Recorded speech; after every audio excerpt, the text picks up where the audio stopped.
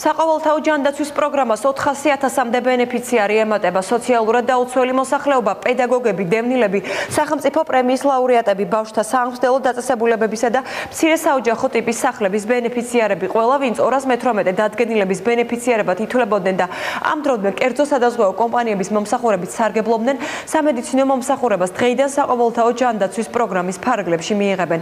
ჯანდაცვის მინისტრის განცხადებით ეს ადამიანები საყოველთაო ჯანდაცვის პროგრამას იგივე პირობებით უერთდებიან, რაც მათ ამ დრომდე ჰქონდათ, თუმცა საშუალება ექნებათ თავად აირჩიონ სამედიცინო დაწესებულება და მომსახურების სატარიფო არეალი. რაც შეეხება მზრუნველობა მოკლებულ ბავშვთა სახლების ბენეფიციარებს, რომლებსაც ხშირ შემთხვევაში პირადობის დამადასტურებელი მოწმობის უქონლობის გამო ვერ უტარდებოდათ სამედიცინო მომსახურება ჯანდაცვის სამინისტროში, ამბობენ, რომ მსგავსი პრობლემა აღარ შეექმნებათ და მათ მიეცემათ ხანგრძლივი ვადა დოკუმენტის წარსადგენად.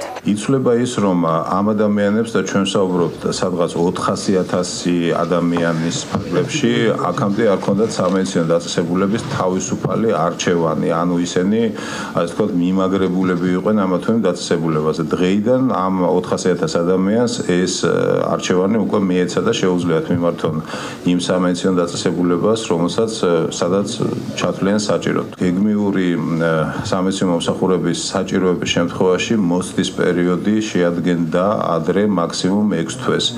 ეხლა ეს მოსდის პერიოდი ჩამოდის მაქსიმუმ 2 თვემდე. გადმოდის აბსოლუტურად ყველა ბენეფიციარი, რომელიც იყო 218 დადგენილებით დაზღვეული 6 სადაზღვევო კომპანიაში, ეს ყველა 400.000-მდე ადამიანი გადმოდის საკოლტავ ჯანდაცვის პროგრამაში.